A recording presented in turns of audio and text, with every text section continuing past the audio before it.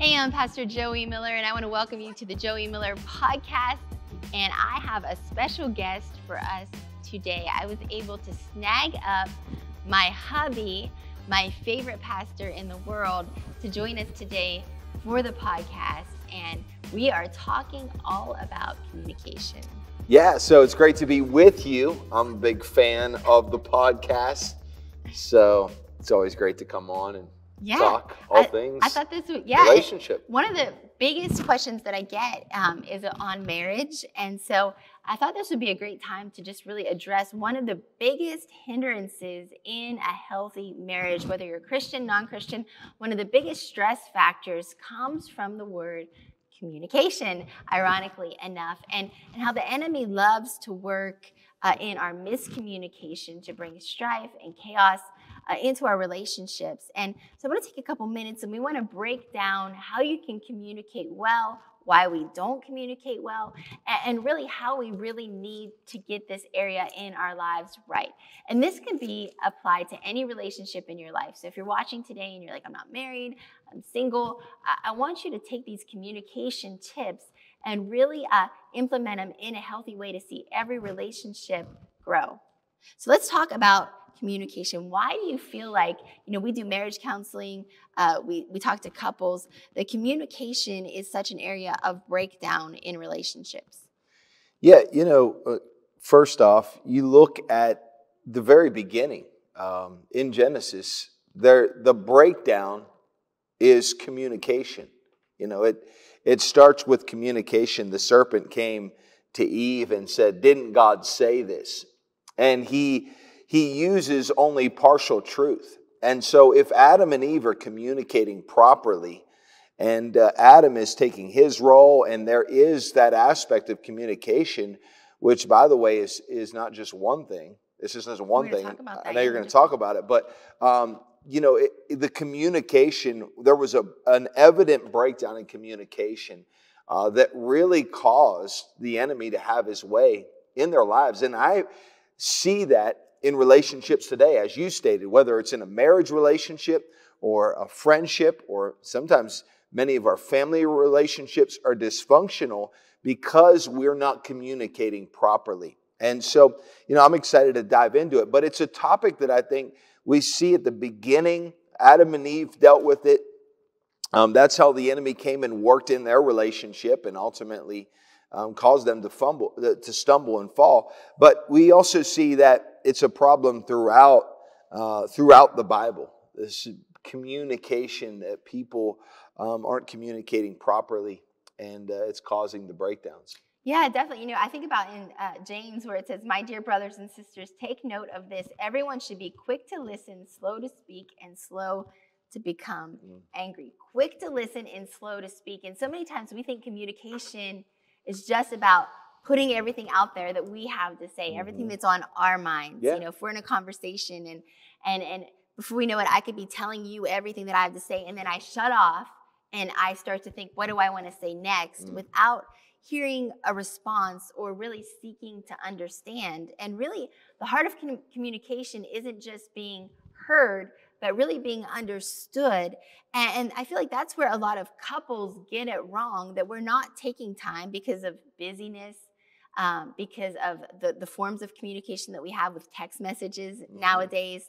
I mean, how many times have you text somebody and your tone was taken all wrong because of punctuation. I know our daughter Mia, if I'm driving, I'm like, hey Mia, can you compose a text? And and I'll read it after and be like, oh my goodness, this person probably thinks that, you know, because how they text nowadays, there's Yeah. no punctuation and a lot can be lost uh, in translation, so to say. And so really uh, re-looking at communication and redefining it and understanding that there's lots of ways that we communicate uh, but one of actually a way of communication that's so undervalued is active listening.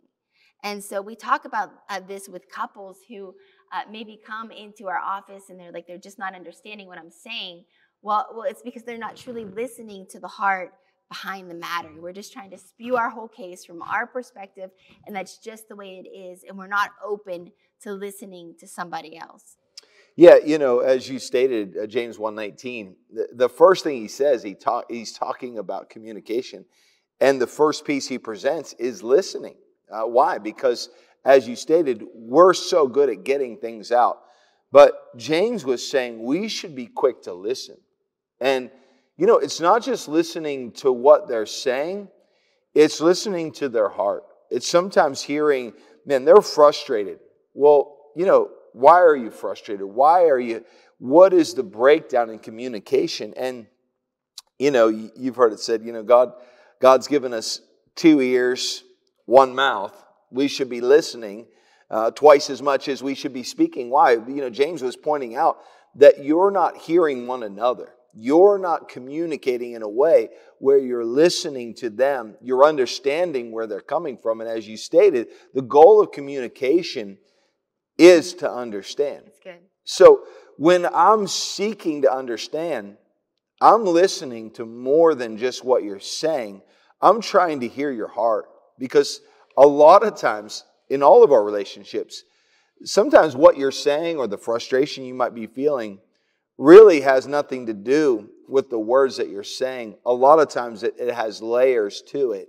And so, me having a heart that's positioned to seek to really listen to more than just words, I'm trying to hear their heart. When I'm looking to hear and understand their heart, their perspective, because let's be honest, you know, and you and I, um, not only do we deal with this, you know, as we went into marriage, but the reality is you still deal with it no matter how many years you're married is is we are two people that are wired differently come from different backgrounds and if we don't have this common goal of seeking to understand then we're just going to be word blasting each other and wondering why we're not connecting. Yeah and going to separate corners and and being frustrated and having that wall and what's interesting is not only uh, do we have to deal with this with each other, but especially as our children grow older mm. and within the household, we have teenagers and adults uh, learning to communicate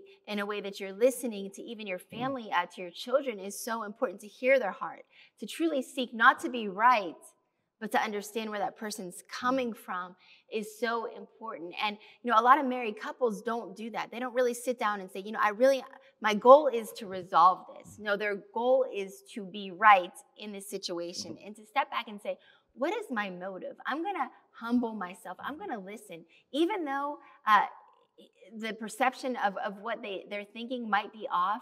Uh, I'm going to try to understand where they're coming from so that I can be, first of all, compassionate and empathetic towards them, and that, so that I can bring truth into the situation in a loving way. And, you know, we can do that uh, with different forms and, and, tones and body language and different types of communication. But, but, you know, to truly seek to understand isn't, well, you're wrong.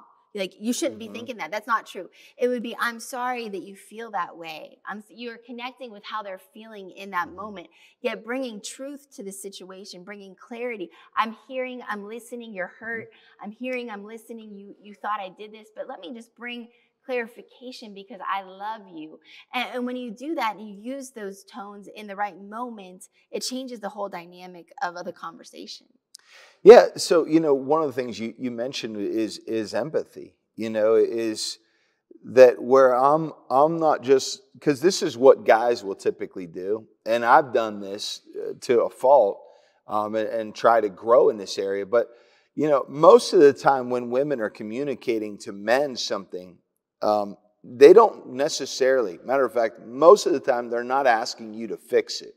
Um, men are wired to fix things, though. So this is very much attention while you're hearing things as a man. Your goal is not to try to start fixing them first.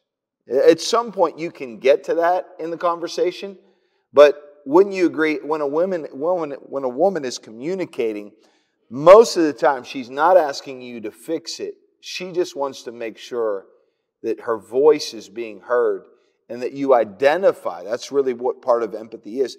I'm empathizing. I'm able to feel what you're feeling. I'm able to understand the emotional state of my wife. And I'm, she knows that I'm actually feeling what she feels.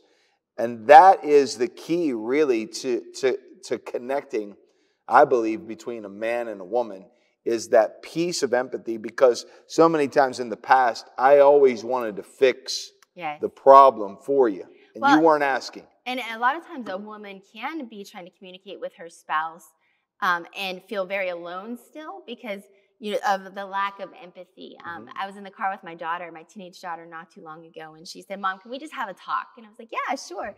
And she said, "I don't want you to be Pastor Joie right now. I want you to be my mom." And I'm like, uh, "How do I disconnect? Like I'm one person. Like I'm consistent." so Yeah. but what she was really saying was, she said, I don't want you to fix it. I just want you to hear me out because I, Mhm. like you with our daughter, I try to fix it. This is the Yeah. right thing that you should do. And, and she knows the right thing to do. I know when I'm communicating with you, Yeah. I know the right thing to do. At the end of the conversation, I know.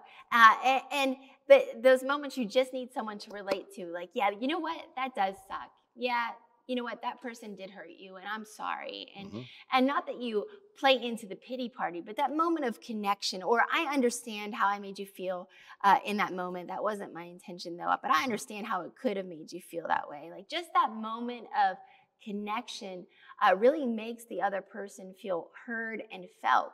And it really opens the door now for a, a wider conversation of, I get it. That sucks, but but this is what what the Lord wants to do in this situation, and and if that person's just always going straight to the point or trying to fix the situation or trying to tell you what the right thing to do is, it doesn't give you the space to really feel and connect and Mhm. communicate Yeah. in a way uh, that you feel that connection. So two people can be Yeah. communicating and still feel very alone if there's not that attribute of empathy. Yeah, you know, uh, and I think, you know, you look at it from the beginning. God said, listen, this is the reason a man will leave his, uh, his mother and father and be united. You know, one version says that to leave and cleave, it's this oneness that God created us. Uh, to walk in, you know, um, it's a oneness of understanding one another, communicating, understanding, you know, emotional needs, physical needs, all of these things, social needs, um, that we stay one in that. And when when I'm just looking at it from a you versus me, or I'm just looking to try to fix it all, I'm really just still focused on me. And and and so you know when I'm looking to to really be united in oneness in our communication, I really have to go beyond what I'm thinking sometimes and really try to put myself in your shoes in that moment. What is she feeling? What is she thinking? Um, and and when I can identify with where you are and you're hearing that, that's too when you feel understood and valued, and then you're you're less frustrated. You know. Um, and you feel that companionship. You feel that oneness when i'm able to identify that that area that you're feeling frustrated or whatever it might be. Um, sometimes it's hurt you know whatever that might be when i'm empathizing with you um, there's a connection that's happening that's so important to marriages. And if you don't get that connection you know a lot of times people look to other relationships for that and you don't want that breakdown in your marriage especially so No, and even early on in our relationships, you know, you were trying so good and you're such an amazing priest and you always lead my heart in good ways. But so, like, you took that so seriously and you still do, but lacked maybe some empathy to the Mhm. point where I always felt like, are you on my side or are you not on my Sure. side? And so, uh, sometimes you just need that to know that person is on your side, even though you're both going to do the right thing. Like, but but I relate to what you're saying in this situation, and and so you know, really uh, having an empathetic moment, truly listening, seeking to understand that other person brings about uh, amazing connection within Yeah. the relationship. You know, and another thing uh, that I want to talk about is really being completely present in our communication in the day and age that we live in. Uh, a lot of times we're not present, we're not communicating in a way that we're both present in the moment to really have opportunity to understand. It's a quick text. It's, uh, yeah, uh, at dinner on my phone. You'll see couples at dinner and they're both on their phone uh, during the dinner where they, they have that opportunity to really commune with one another. And so, in a digital society, speak into that for a second about the importance of disconnecting from this to connect with this. Yeah. Well, you know, I think the first thing we have to understand is you can really only do one thing at a time very well. Um, there's with the busyness of life, with all the demands in our schedule, we have come up with this idea of multitasking and multi, I can do 10 things at one time. But we're really not created in a way that we should be doing 10 things at one time. We, we should be focused on doing one thing and pouring our energies and time into it. And what's going to happen too is if you don't learn to put the devices away, um, you know, especially at the dinner table. You know, I, I was took uh, some of the family. You were um, you had something you were doing with the girls. I had uh, the boys. I was doing something with last night, and the boys had their phones out at the table. And I said, you know, when we're at the table, we don't have our phones out. Let's put those down. Um, you know, and there's always going to be an excuse. But what is it? And, and I just said, you know, we're not going to connect if you're on that device. Right. And so, and what you're communicating to that person, whether you realize it or not, whether you want to or not, is you're really not that important to me. I'm going to take care of some other things. I'm going to multitask. I love that because, you know, especially if you look at the way a man and a woman, woman are created, uh, women can, first of all, think that we're multitasking well. So I could be at the, at the kitchen counter and I could be making dinner and, and uh, you know, responding to a text and listening to my daughter talk. And I find that it looks like we're communicating. It looks like I'm engaged with her, but mm-hmm. really all I'm doing is, uh huh, oh, oh, that's great, uh huh. Yep. And I'm not truly engaging with her. So that's a false sense of multitasking successfully while communicating. And and then if you look at the way a man is built, you men really uh, are built to focus on one thing at a time. So so if they're on their phone, they're not hearing what you're saying either. So mm-hmm. so understanding, I love that principle of being bold enough in the society that we live in, especially when we're having like heated conversations or deep conversations with our spouse, to put the phone away. Stop scrolling. And, sometimes we do it out of habit. Sometimes we've been in a serious conversation and you're like, would you please put your phone away? It's a yeah. habit of just, because we're so habitual of just doing it. And, uh, and I think honestly, too, we need to be in an honest, transparent way.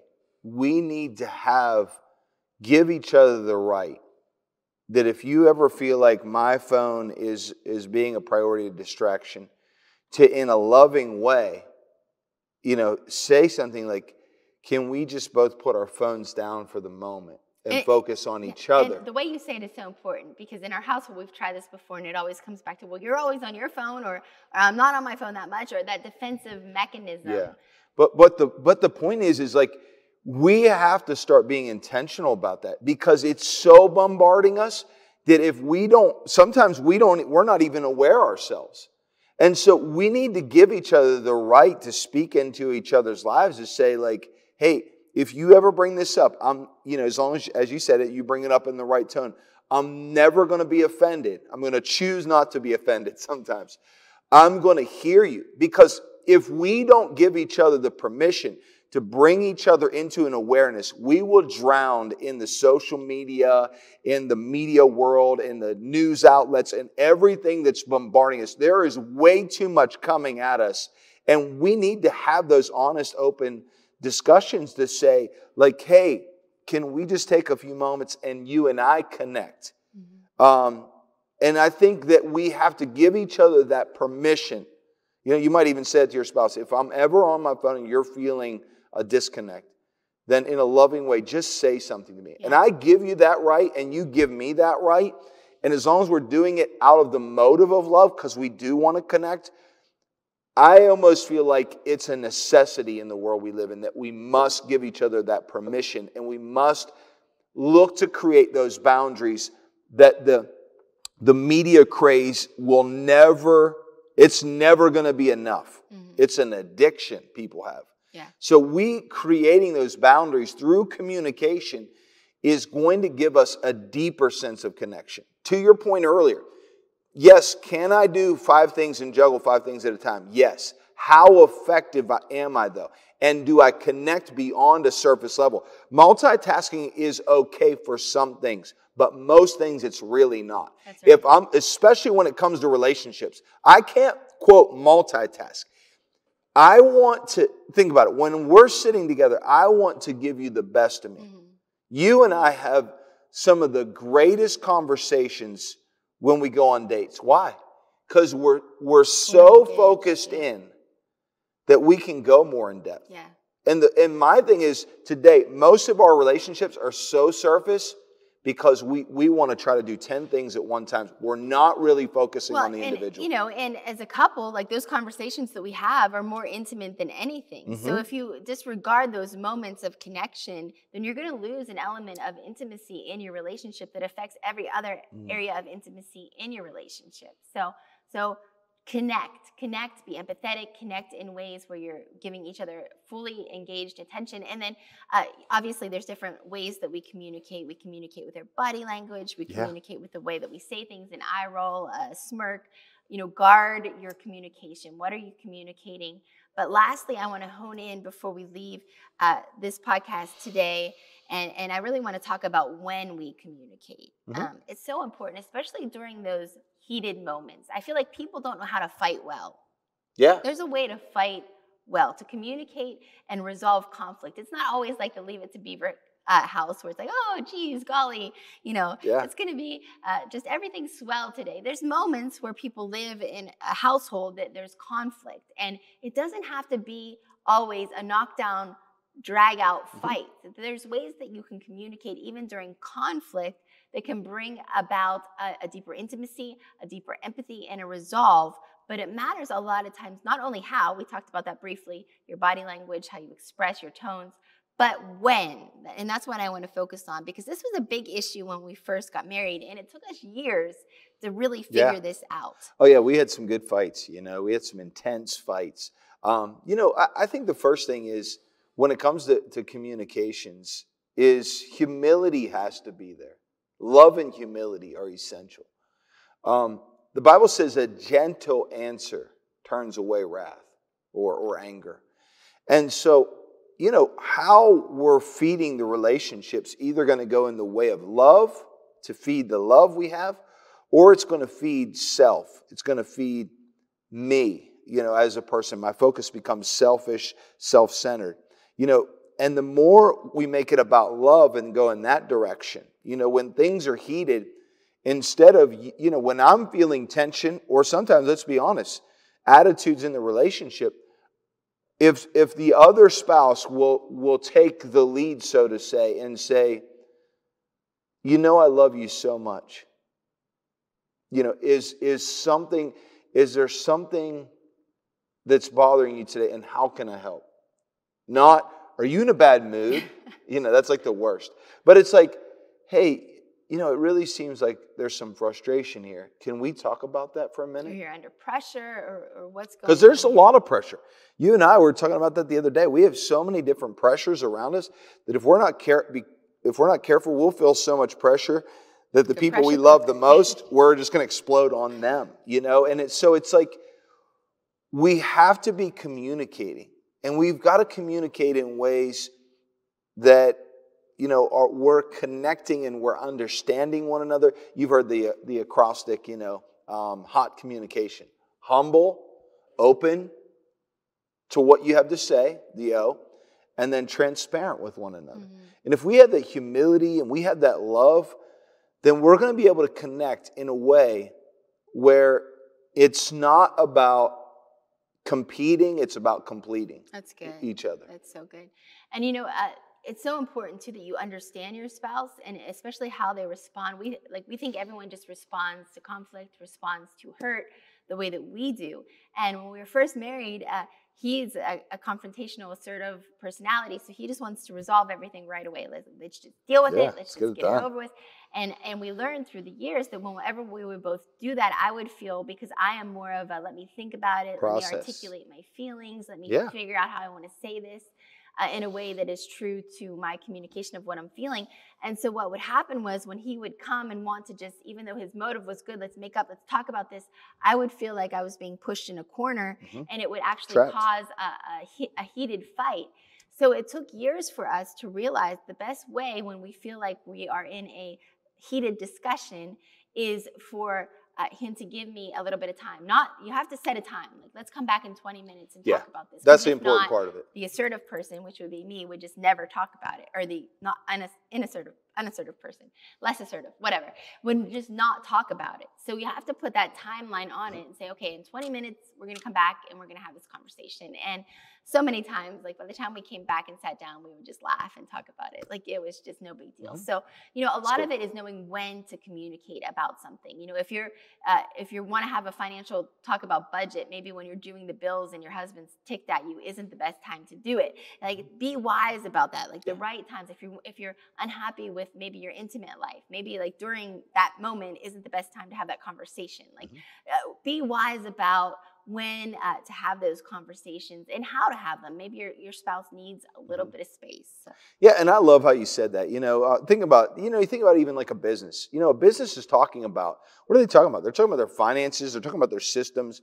You know, and that's when you look at relationships, we should be talking about every area that really matters to us. I love what you said. You know, sometimes we need to talk about intimacy, sometimes we need to talk about finances, sometimes we need to talk about uh, creating boundaries or our social connection uh, whatever our spiritual connection. And so when it comes to relationships, we need to make sure that we're communicating and we're paying attention to these major areas that cause either connection or disconnection. And so, you know, when you look at those things, you know, there is nothing that we can't and shouldn't be talking about as a couple. We should be engaging in these discussions, in these areas that are important to have a healthy relationship. So good. Well, I hope that you learned a lot about communication today. We're still learning, but here's some nuggets that we have learned together. Yeah. And we pray that your marriages are blessed and you truly learn to thrive in the area of communication and shut out the work of the enemy who wants to come in and bring disunity and chaos. We're praying your marriages thrive all of 2022. Till next time on the Joie Miller Podcast, I'll talk to you soon.